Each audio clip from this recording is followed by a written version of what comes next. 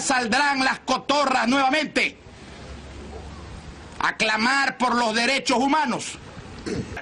Esto es orden de tirar a matar.